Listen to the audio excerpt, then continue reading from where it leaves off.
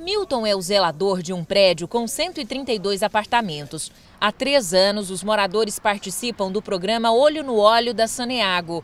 Para cada litro de óleo velho guardado, o desconto na próxima fatura é de 50 centavos. Uma diferença assim, até significativa, porque em questão do projeto ajuda muito. Às vezes as pessoas não vê, os moradores não vê, mas assim, por condomínio ele vê aquilo ali é muito significante para nós, né? Toda vez que esse tambor fica cheio, os funcionários da Saneago vêm buscar e deixam outro vazio. Outra forma de economizar foi usar a água do poço artesiano do prédio nos serviços de jardinagem e limpeza da área comum. Foi constatado que a água que a gente usa para lavar a garagem, lavar a escada, lavar a área comum, é, aguar jardim e lavar calçadas, é a água do poço artesiano. A gente não usa água potável. O dono desse bar frita cerca de 70 salgados por dia. Tem coxinha, pastelão, disco de carne. Aqui todo mundo já sabe que não pode descartar o óleo velho na pia da cozinha, senão vai para o esgoto e dá um problemão. O bar já faz parte do projeto Olho no Óleo da Saneago há sete anos.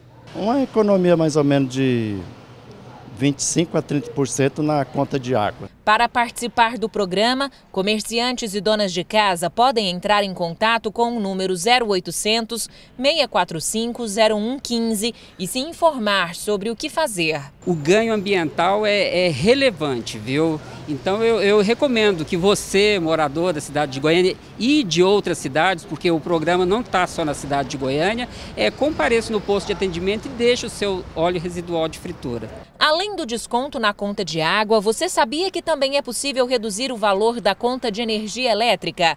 A Enel tem cinco ecopontos como esse em Goiânia e outros dois na cidade de Goiás e Posse. O EcoEnel é um projeto de sustentabilidade onde a empresa ela dá a oportunidade da troca de produtos recicláveis, plástico, papelão, latinhas de alumínio, por créditos que vem depois na conta de energia elétrica. O projeto EcoEnel recolhe papel, plástico, alumínio, placas de computador, garrafas de vidro, motor de geladeira e sucata de ferro.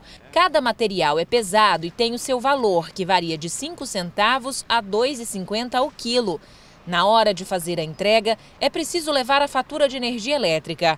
O desconto vem na próxima conta. O programa tem sido um sucesso, como foi também nos outros estados em que a Enel tem as suas distribuidoras, no Rio e Ceará.